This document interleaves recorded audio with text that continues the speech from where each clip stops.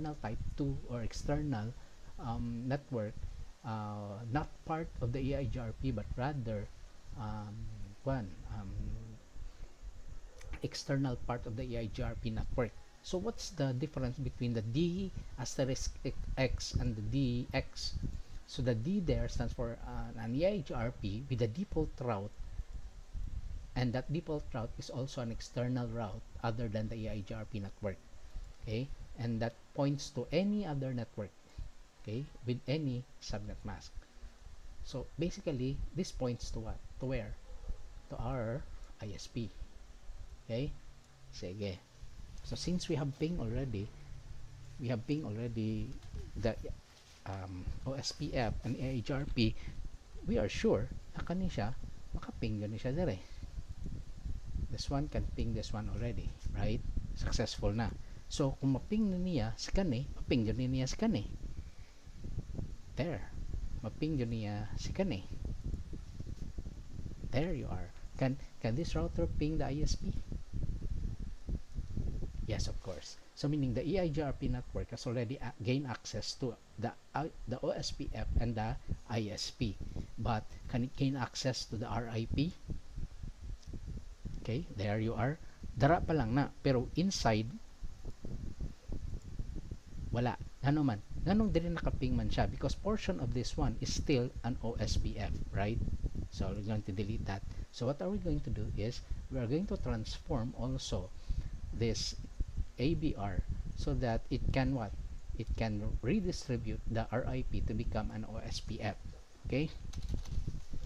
So here um, what are we going to try to do is router OSPF 1 redistribute redistribute kuno nato ang sa may redistribute ng RIP okay kaya naamata sa sulod sa OSPF redistribute RIP question mark. What are we going to redistribute for our one the metric?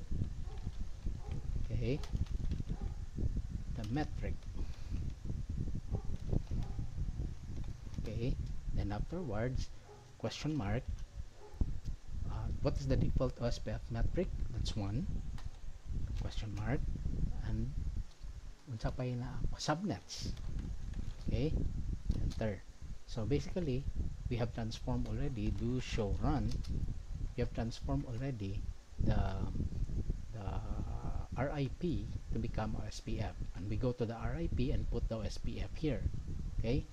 So router RIP enter version 2 then matagtada yung command na redistribute OSPF 1 okay question mark.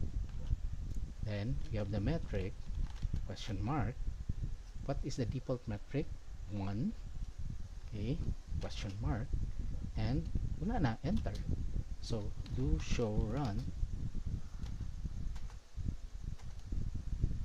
Okay from the RIP2 we have already redistributed the OSPF to become an RIP so let's try to ping. Ping this one to this one okay successful this one to that one.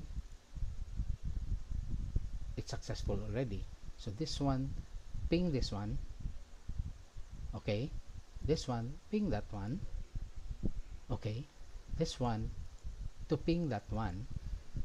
Oops sige atong papasok sa ping this one. Yes it can ping right? But this one can it ping this one? Successful. So iyahan nang na-redistribute kay basically um, na-change na niya ang RIP to become it, basically the, the RIP became an OSPF already an OSPF as seen by the EIGRP then how about uh, EIGRP network can be read by mabasa ba niya si RIP yes of course. So that's how we redistribute our network uh, from RIP to become EIGRP, EIGRP to become SPF, SPF to become EIGRP.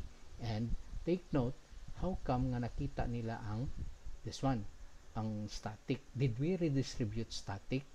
Basically, yes. Katong command na to ganiha na originate, okay, default, uh, pagkitaon na to, to siya, no? Uh -huh. Nasa bagoron to show run this one this command here enables you to propagate the um, the static route to any other um, protocols now via SPF okay? Do you have any question with this? So kung wala tayo question uh,